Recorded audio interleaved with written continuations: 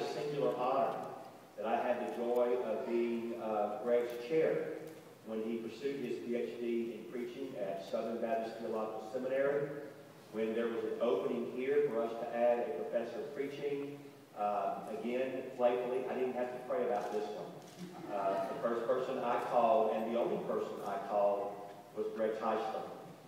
I know that Greg has a great affection for Brother Johnny, and Johnny has the same. In fact, just a moment ago, as we were talking about this, he said, you know, I didn't know who was going to be put in this chair, if it had been my decision, uh, that would have been easy. It would have been Greg Heisler. And I know that uh, Greg would also tell you that Johnny has had a, a, an incredible impact on his life and on his thinking about preaching. So again, it just makes perfect sense, and God's providence, is a good day that the first person to occupy this chair will be Dr. Greg Heisler. So Greg, in honor of this day, I present to you a copy of the Believer's Study Bible. Uh, it is a Bible that is now out of print.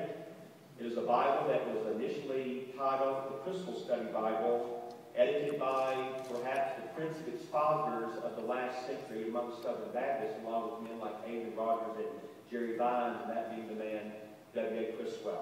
And in fact, there will be someday an endowed chair of preaching in his name here at Southeastern as well through the very generous gifts of the donor.